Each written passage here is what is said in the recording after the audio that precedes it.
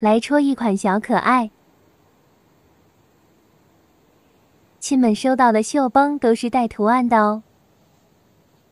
拿出我们的戳针，这是戳针的正面。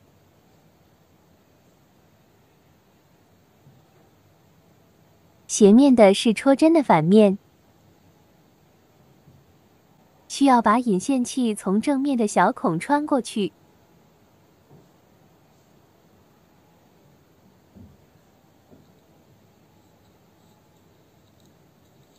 毛线一定要多拉出一些备用，戳制时时刻保持毛线松散，不然会一直跳线。看下是从正面的小孔拉出来的哦。引线器最好一直放在一个位置，避免找不到。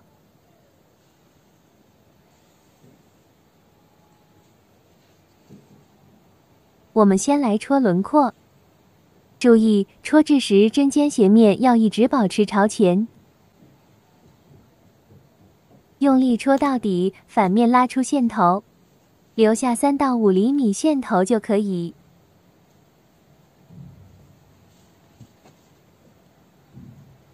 注意提针时要轻轻抬起，不要抬太高，紧贴布面移动。轮廓的针距大约是绣布的四个小格，每针都戳到底。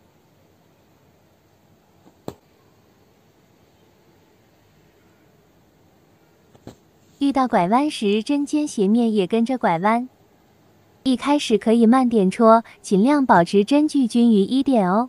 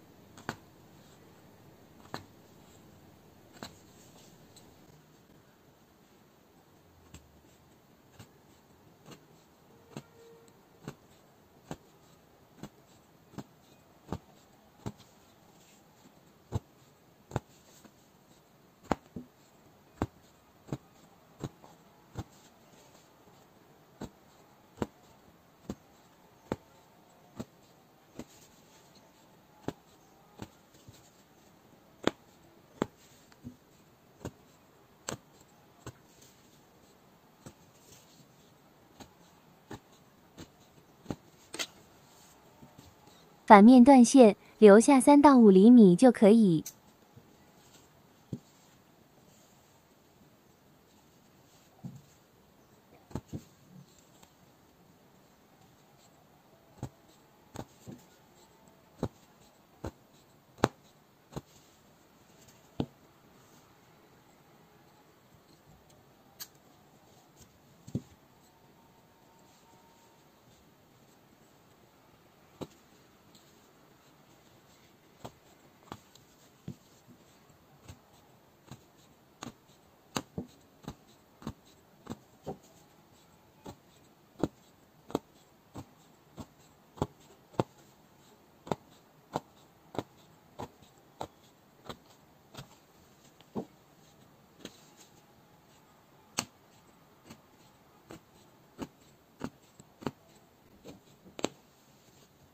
这里注意，需要交错戳哦。